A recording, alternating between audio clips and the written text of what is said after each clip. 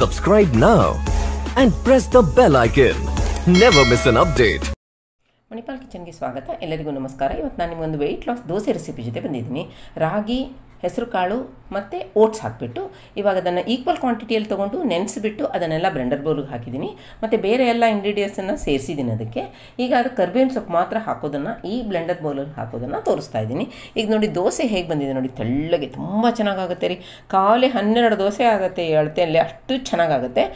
ಈ ದೋಸೆ ಏನಪ್ಪ ಅಂದರೆ ನಾಟ್ ಓನ್ಲಿ ವೆಯ್ಟ್ ಹಾಂ ಈಗ ನೋಡಿ ಅದಕ್ಕೆ ಏನು ಬೇಕಂತ ನೋಡಿದೆ ಮೆಣಸಿನಕಾಯಿ, ಸ್ವಲ್ಪ ಜೀರಿಗೆ, ಸ್ವಲ್ಪ ಕರ್ಬೇವಿನ ಸೊಪ್ಪು, ಉಪ್ಪು ರುಚಿಗೆ ತಕ್ಕಷ್ಟು ಮತ್ತು ತೆಂಗಿನಕಾಯಿ ತುರಿ. ಹ್ಞೂ ಹಾಗೆ ಹೇಗೆ ಮೇ ಈ ರಾಗಿ ಇದೆಯಲ್ಲ, ಇದು ತುಂಬ ಒಳ್ಳೆಯದು ಹೆಲ್ತಿಗೆ ಇದು ರಾಗಿ ಮತ್ತು ಹೆಸರು ಕಾಳು ಮತ್ತು ಓಟ್ಸ್ ಮೂರು ಒಳ್ಳೆ ಕಾಂಬಿನೇಷನು ಬ್ರೆಸ್ಟ್ ಫೀಡಿಂಗ್ ಮಾಡುವಂತಹ ಲೇಡೀಸ್ಗೆ ಬಾಣಂತಿಯರಿಗೆ ಇದು ಹೇಳಿ ಮಾಡಿದ ದೋಸೆ ನಾವು ಕೂಡ ತಿನ್ಬೋದು. ಇವಾಗ ನೋಡಿ ಒನ್ ಥರ್ಡ್ ಕಪ್ ಮೂಂಗ್, ಅಂದರೆ ಹೆಸರು ಕಾಳನ್ನು ಹಾಕ್ಕೊಳ್ಳಿ ಹಾಗೆ ಮೆಂತ್ಯ ಕಾಳು ಒನ್ ಥರ್ಡ್ ಟೀ ಸ್ಪೂನ್ ಹಾಕ್ಕೊಳ್ಳಿ ಮತ್ತು ನಾನು ರೋಲ್ಡ್ ಓಟ್ಸ್ ಹಾಕಿದ್ದೀನಿ ನೀವು ಆರ್ಡಿನರಿ ಓಟ್ಸ್ ಕೂಡ ಹಾಕ್ಬೋದು. ಅದು ಒನ್ ಥರ್ಡ್ ಕಪ್ಪು ಎಲ್ಲ ಹಾಕಿಬಿಟ್ಟು ತೊಳೆದು ಅದನ್ನು ಓವರ್ನೈಟ್ ನೆನೆಸ್ಬೇಕು, ಎಂಟು ಗಂಟೆ.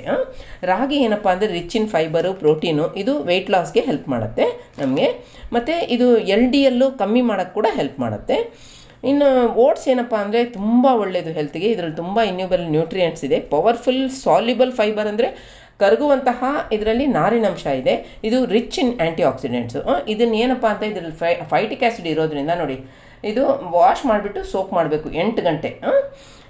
ಇದರಲ್ಲಿ ಇದು ಏನಪ್ಪ ಅಂತಂದರೆ ಓಟ್ಸ್ನ ಯಾವತ್ತೂ ನಾವು ಐದರ್ ನೆನೆಸ್ಬಿಟ್ಟು ಅವ್ರು ಹುರಿದ್ಬಿಟ್ಟು ಉಪಯೋಗ ಮಾಡಬೇಕಾಗತ್ತೆ. ಯಾಕಂದರೆ ಈ ಫೈಟಿಕ್ ಆ್ಯಸಿಡ್ ಇದರಲ್ಲಿ ಇರೋದ್ರಿಂದ ಇದು ಕೆಲವರಿಗೆ ಡೈಜೆಷನ್ಗೆ ಪ್ರಾಬ್ಲಮ್ ಕೊಡುತ್ತೆ ಮತ್ತು ಹೊಟ್ಟೆ ಬ್ಲೋಟ್ ಎಲ್ಲ ಮಾಡುತ್ತೆ. ಅದರಿಂದ ಐದರ್ ಸೋಕ್ ಮಾಡಬೇಕು ಆರ್ ರೋಸ್ಟ್ ಮಾಡಬೇಕು.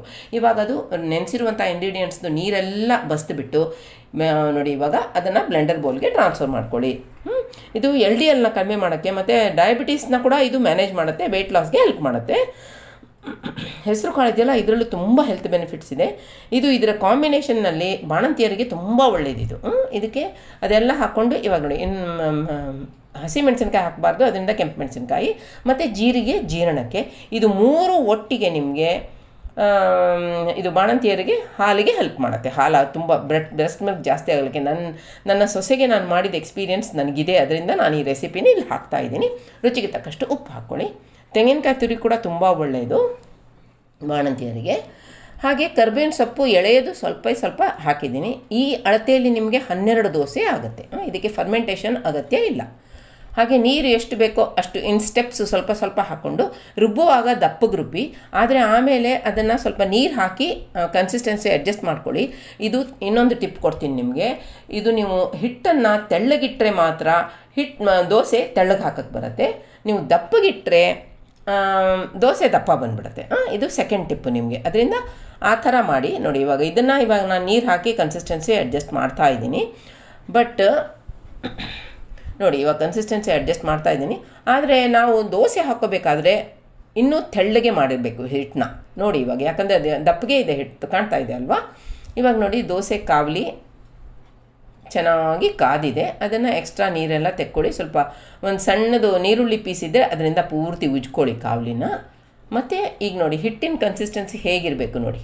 ಆವಾಗಿನ ಹಿಟ್ಟು, ಇವಾಗಿನ ಹಿಟ್ಟು ನೋಡಿದ್ರೆ ನಿಮಗೆ ಡಿಫ್ರೆನ್ಸ್ ಗೊತ್ತಾಗುತ್ತೆ. ಹೌದಾ? ಇದೊಂದು ಟಿಪ್ ನಿಮಗೆ. ತೆಳ್ಳಗೆ ಸ್ಪ್ರೆಡ್ ಮಾಡೋಕ್ಕೆ ಬಂತೆ, ಬರುತ್ತೆ ಪ್ರೊವೈಡೆಡ್ ನೀವು ತೆಳ್ಳಗಿಡಬೇಕು ಹಿಟ್ಟು. ಇವಾಗ ನೋಡಿ, ಎಷ್ಟು ಚೆನ್ನಾಗಿ ತೆಳ್ಳಗೆ ಬಂತು ದೋಸೆ, ಅಲ್ವಾ? ಒಂಚೂರು ಹಾಳಾಗಲಿಲ್ಲ ನೋಡಿ, ಅಲ್ವಾ? ಈಗ ಅದಕ್ಕೆ ಸ್ವಲ್ಪ ಸ್ವಲ್ಪ ಎಣ್ಣೆನೋ, ತುಪ್ಪನೋ, ಬಾಣಂತಿಯರಿಗೆ ಬಡಿಸ್ಬೇಕಾದ್ರೆ ನೀವು ತುಪ್ಪ ಹಾಕ್ಬೋದು. ನಾನಿವಾಗ ಎಣ್ಣೆ ಹಾಕಿದ್ದೀನಿ ಇದು ಒಂದು ಟಿಪ್ಪು ನಿಮಗೆ. ಹಾಗೆ ಅದನ್ನು ಕವರ್ ಆ್ಯಂಡ್ ಕುಕ್ ಮಾಡಿ ಒಂದು ನಿಮಿಷ ತನಕ. ಮೀಡಿಯಮ್ ಫ್ಲೇಮಲ್ಲಿ ಕವರ್ ಆ್ಯಂಡ್ ಕುಕ್ ಮಾಡಿ, ಇದು ಫ್ಲಿಪ್ ಮಾಡೋ ಅಗತ್ಯ ಇಲ್ಲ. ಈಗ ನೋಡಿ ಕುಕ್ ಆಗಿದೆ. ಕೈ ಕೂಡ ತಾಗಲ್ಲ, ಎಷ್ಟು ಚೆನ್ನಾಗಿ ಕುಕ್ ಆಗಿದೆ ನೋಡಿ. ಈಗ ಅದನ್ನು ಒಂದು ನಿಮಿಷ ಓಪನಲ್ಲಿ ಕುಕ್ ಮಾಡಿಬಿಟ್ಟು ಇವಾಗ ಲೂಸನ್ ಮಾಡ್ಕೊಳ್ಳಿ. ದೋಸೆ ಲೂಸ್ ಮಾಡಿ. ಮತ್ತು ಪ್ಲೇಟಿಗೆ ಟ್ರಾನ್ಸ್ಫರ್ ಮಾಡಿ. ನಿಮ್ಗೆ ಗೊತ್ತಾಗುತ್ತೆ ನೋಡಿ, ದೋಸೆ ಎಷ್ಟು ತೆಳ್ಳಗಿದೆ ಅಂತ ಅಲ್ಲಿ ನೋಡಿ, ಹಾಕಿರೋ ದೋಸೆ ನೋಡಿದ್ರೆ ಗೊತ್ತಾಗುತ್ತೆ. ಅದು ಪ್ಲೇಟ್ ಕಾಣುತ್ತೆ ನೋಡಿ ಕೆಳಗಡೆ ಅಲ್ವಾ?